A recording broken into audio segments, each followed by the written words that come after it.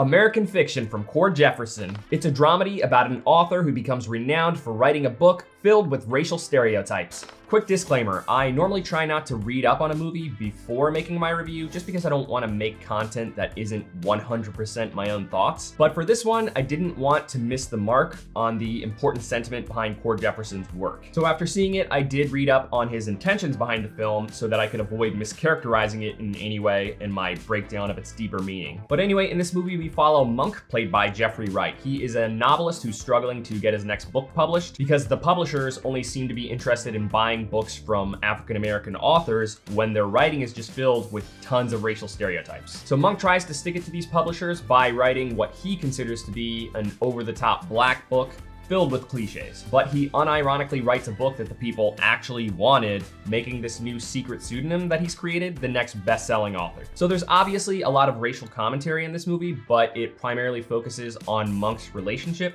with a tone-deaf industry. We see the bulk of Monk's struggles coming from well-meaning allies that are just totally oblivious and creating horribly uncomfortable situations for him. This movie digs into how obsessing over another person's identity, even with the best intentions at heart, can actually contribute to an entirely different form of oppression, in how constantly addressing someone by their ethnicity could potentially be exotifying them deeming them as irregular rather than being inclusive. It also digs into the overuse of certain tropes in African American stories. There's a wonderful scene where this is debated between Monk and the author Sintara Gold, played by Issa Rae. Cord Jefferson described this exchange as one where neither is meant to be right or wrong, and that he's not actually sure who he agrees with more. It just explores the complexity of the topic rather than trying to pick a winner, which I thought was a really good approach. So Jeffrey Wright, he is an incredibly talented actor and was just perfect for this role. He plays the dramatic and serious sides of the character very well and did a fantastic job playing a guy who's just poorly emulating someone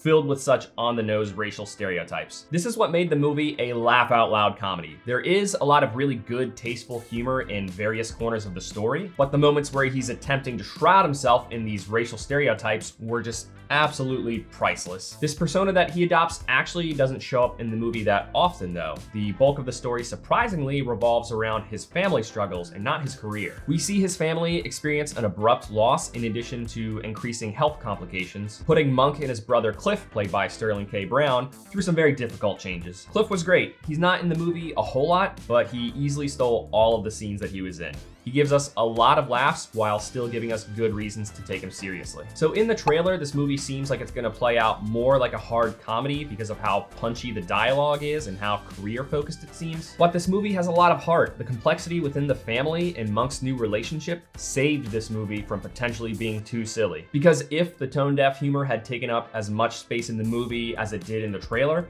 then it probably would have gotten old and left us wondering where the heart is. This is a great debut for Cord Jefferson's filmmaking filmmaking career, the dialogue was just really well written, and there were a lot of great decisions made in directing. There are some good visual metaphors that reiterate the movie's core themes without explicitly stating them. So this movie does feel like it has a little bit of Don't Look Up syndrome, where in marketing, it seemed like it was gonna be a lot more like a comedy, but it actually took itself a lot more seriously than I was expecting. Not that it's a bad thing though. Again, I'm glad that they didn't oversaturate the film with Monk playing into the stereotypes. That said, because of how far apart the hardest hitting funny scenes were, I do feel like there could have been some really hard hitting emotional scenes to contrast them for much of the second act. Also, Monk is often treated like a curmudgeon, but he generally seems well contained through the BS that he deals with, with the exception of a couple instances. I do just think that they could have depicted him as angrier. So Cord Jefferson has stated that this is a mildly satirical film, but with a real message, of course. It's meant to give viewers the opportunity to laugh at themselves a little bit